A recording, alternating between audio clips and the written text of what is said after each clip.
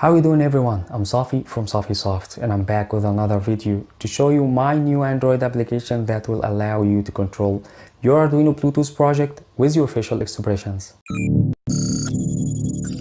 The Face Commander Arduino Bluetooth controller is a new Java native Android application from SafiSoft and I built it with the help of MLKit which was developed by Google team to allow you to control your Arduino Bluetooth project with your facial expressions.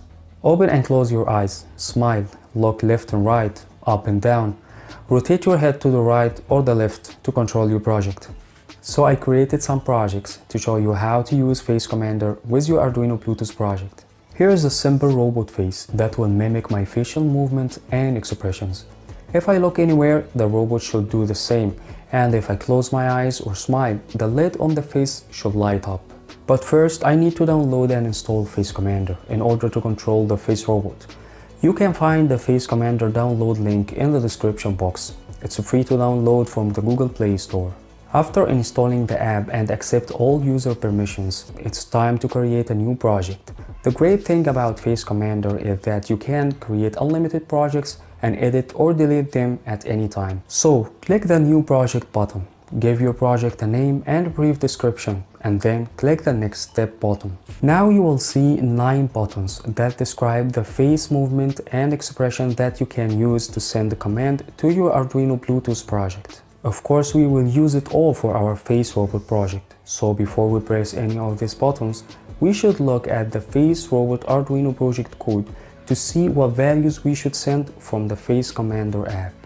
After reviewing the Arduino code, we discovered that if we want to control the right eye lid in the face robot, we should send the capital letter R if my right eye is open and the small letter R if my right eye is closed. Of course, we will repeat the process for the remaining commands such as left eye, smile, look right, look left, rotate right, rotate left, look up and look down. After we have collected the necessary data from the Arduino code, we can now press any button to change its value. For example, if we press the right eye button, the app will ask for the value that I want to send when my right eye is open and the value that I want to send when my right eye is closed. We will repeat this process for all remaining commands before pressing the Open Project button. Now the Face Commander is trying to locate your Arduino Bluetooth module. Ensure that the Arduino and the Bluetooth module are connected to the power source. After connecting to our Face Robot project, the camera will begin to detect your facial movement and expressions. And you can use either the front camera or back camera. Now is the time to put our Face Robot project to the test.